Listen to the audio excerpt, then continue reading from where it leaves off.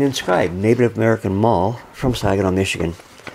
When you're out on the quest to find Native American Indian artifacts, it's best to truly leave no stone unturned. The majority of artifacts out there to be found are not a beautiful arrows and spearheads or axes and celts, etc. The majority are slightly modified stones that the average collector would walk right past and see little significance in.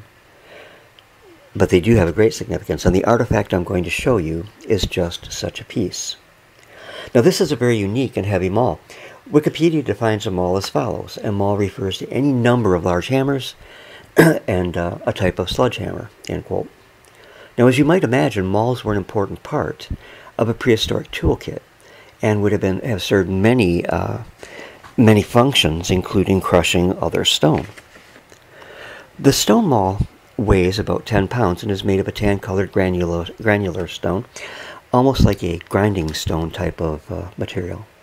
Now this has been modified in that it was ground down to a bit um, end, um, which did the work.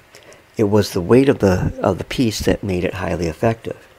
My friend Gil Albert pointed it out to me in the field and asked if I thought the marks on it were plow marks. And indeed, on the exposed side, they were plow marks. But upon picking it up, it was uh, immediately obvious that it was a maul, and that the truly, truly unique feature was that on the face of the stone that was down, face down to the dirt, that face shows inscribed marks that are not plow marks.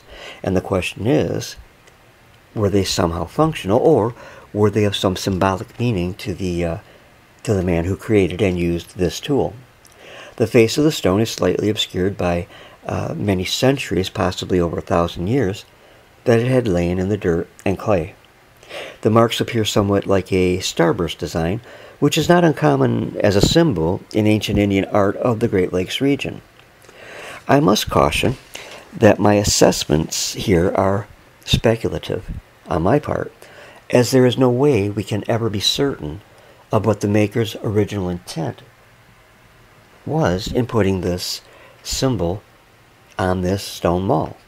So then the first question I asked myself was, could the marks be functional? The answer? A few of them, perhaps, but that would be very questionable.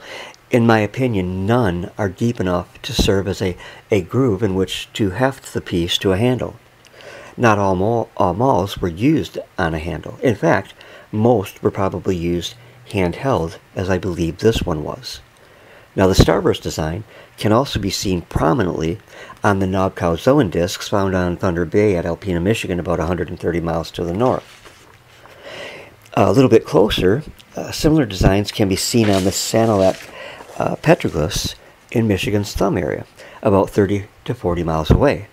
It is not out of the realm of possibility that those who carved the ancient petroglyphs were culturally connected to the people from the site in Saginaw where Gil and I found them all. Interestingly, these petroglyphs are dated at about 600 to 1000 years ago, placing them firmly in what is known as the late woodland era. The maul um, that I found is from that same period of time, and I base this assessment on an arrowhead found near the maul, which uh, is of a design extensively used in the late woodland here in Michigan, so there could very easily be some uh, connection between the two sites. It would uh, be truly fascinating to know what the starburst meant to these ancient people, but again, we can never know that for certain. We can only guess. I would be delighted to hear any of your thoughts uh, on this piece, so please be sure to post them in the comment section, and be sure to please give me a thumbs up and subscribe for similar upcoming programs. Stay well, my friends. Thanks for watching and God bless.